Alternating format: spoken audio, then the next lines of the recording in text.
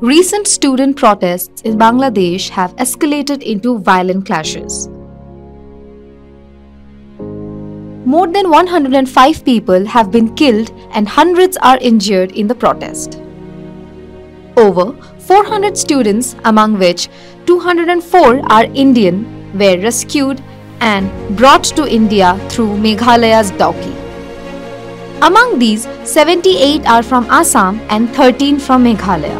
The unrest in Bangladesh centers around demand to abolish a controversial quota system in government jobs, which reserves positions for the relatives of veterans who fought in the 1971 War of Independence from Pakistan. Protesters argue that this system is discriminatory and hinders equal opportunities for all citizens. The situation escalated further following a statement from Prime Minister Sheikh Hasina on July 14 in which she seemed to liken the protesters to the descendants of Razakars.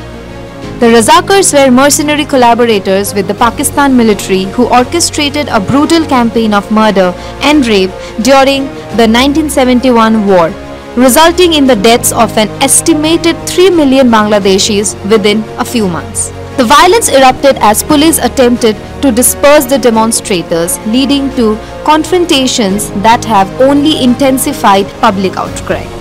The quota system intended to honor the sacrifices of freedom fighters is viewed by many as outdated and unjust.